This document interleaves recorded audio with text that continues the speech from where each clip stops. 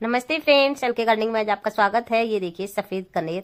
तो आज मैं दो ऐसे पौधा लाई हूँ और उसी को मैं शेयर कर रही हूँ और ऐसे जंगल में ऐसे ही लाई हूँ। उनको भी ऐसे ही उखाड़ के लाई जो दूसरा। तो देखिए पूरे वीडियो में बने रहेगा, पता चल जाएगा कि दूसरा किसका है।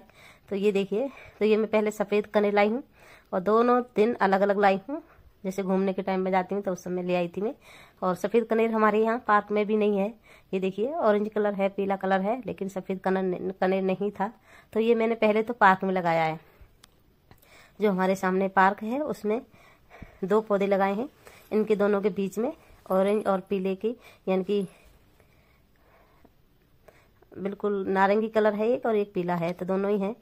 तो दोनों के येलो और ऑरेंज दोनों के बीच में व्हाइट कलर लगा दिया है। तो ये देखिए और खुरपी भी नहीं थी डंडी से ही खोद के लगा दिया और फिर दे दिया मैंने पानी इसमें और बारिश भी नहीं हुई थी।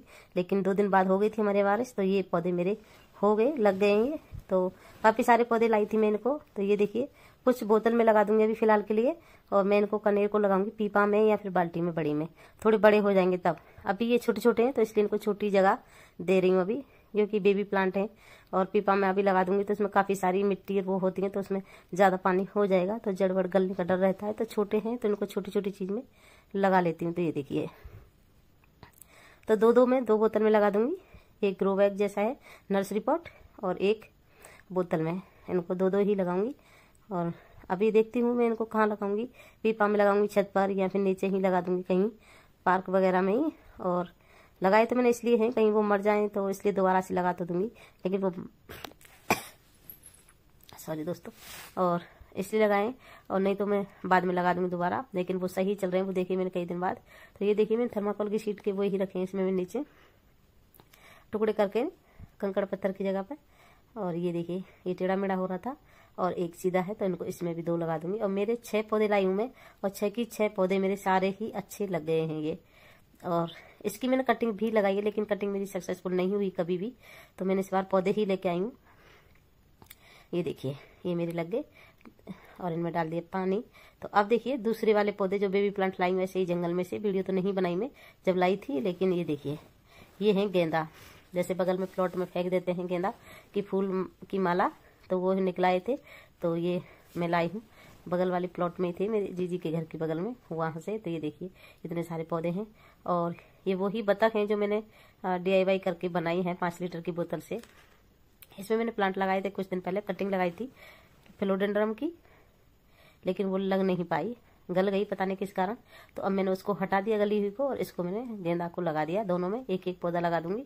और ये बोतल है, हिलटे डुलटे जो प्लांटर बनाए थे मैंने, दो लीटर की से। तो इसमें भी लगा दिया, एक मैंने एक खाली थी। बाकी की मैंने गेंदा लगाए भी हैं, बीज भी डाले, वो निकले भी हैं। किसी दिन शेयर करूँगी, दिखाऊँगी आपको। ऐसी बोतलों में डाले मैंने कुछ बीज, वो निकले हैं छोटे छोटे हैं। लेकिन ये खाली थी तो इसमें मैंने लगा दिया, ये देखिए। और बेबी प्लांट जल्दी से लग जाते हैं, बारिश का टाइम चल रहा है। अगर आपके पास पौधे नहीं हैं और कहीं पड़ोस में निकलाते हैं या पार्क वगैरह में देखते हैं या घूमने जाते हैं तब तो बेबी प्लांट ले आइए। कोई मना भी नहीं करेगा, क्योंकि इन दिनों में बेबी प्लांट बहुत सारे हर एक तरह के निकलते हैं। तो सबके लिए ऐसे ही लगाइए, मेरी तरह। जैसे मैं कनेर की लाई हूँ, और दूसरे पार्क से ही लाई हूँ मैं, और अपने वाले पार्क में लगाए हैं। और ये तो प्लॉट में ही पड़ा था, खाली प्लॉट पड़ी थी बगल में।